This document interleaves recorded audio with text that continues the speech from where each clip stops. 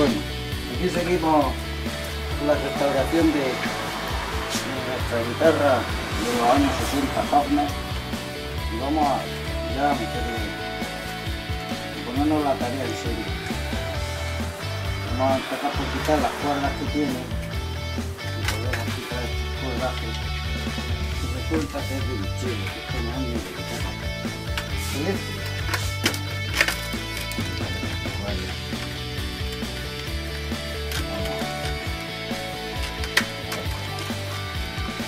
Ya hemos liberado las cuerdas del chelo,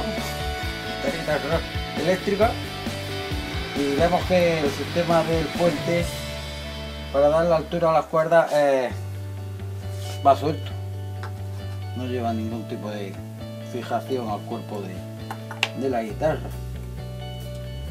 Las fabricaciones primitivas, pues, esto tendría muchísimo inconveniente.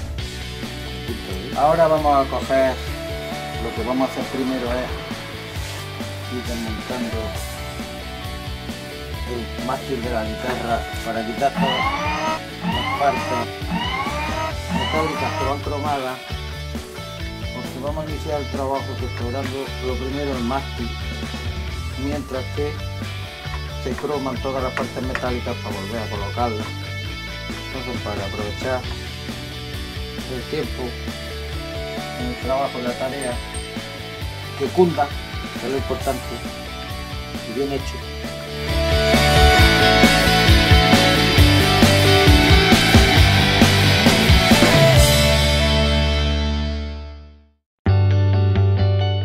Ya hemos quitado la placa original del sujeta al mástil Hofner, podéis ver, España, licencia Hofner.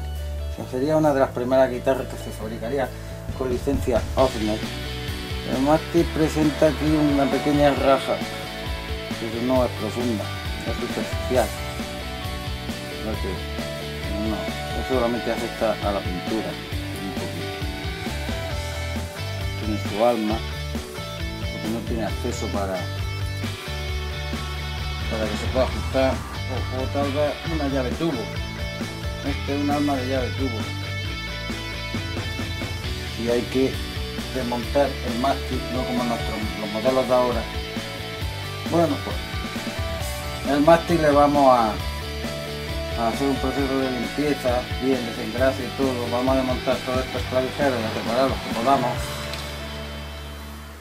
que quede esto en estado de funcionamiento bueno, pero conservando el aspecto de antiguo, sus rayas no le vamos a pintar ni nada, le vamos a dar nueva pintura, porque no queremos que la guitarra parezca sacada de tienda. No, se va a ajustar, Uf, una desviación del alma, tiene los caracolillos de velas, como decimos por aquí.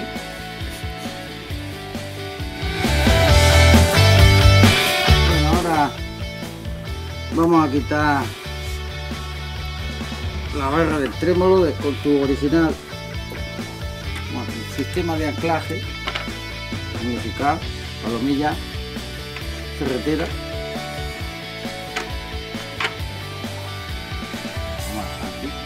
Y vamos a ir desarmando.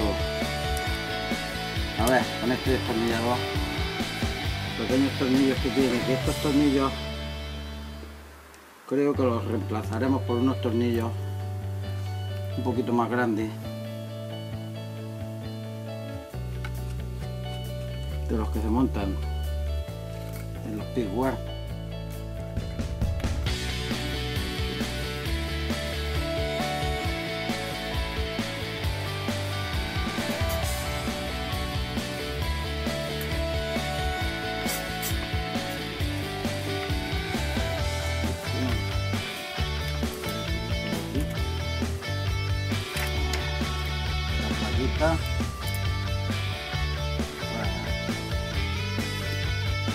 fijarla el hilo.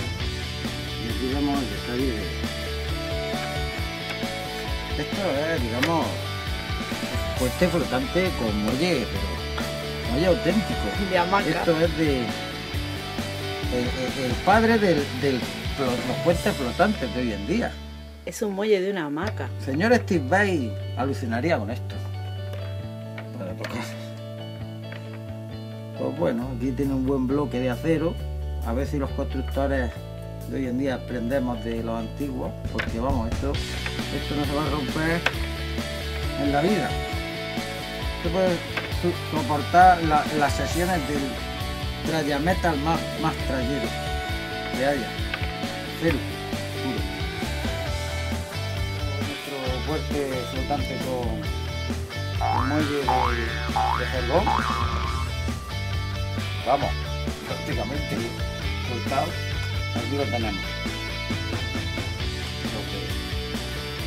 La, la calidad es superior a lo que hay.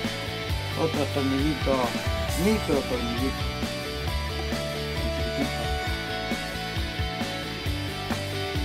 Hemos quitado aquí un poco de de robín que tenía robín del bosque y ya parece que quiere salir vamos a ver que nos desvela oh otra placa no está en bastante mal estado ver esto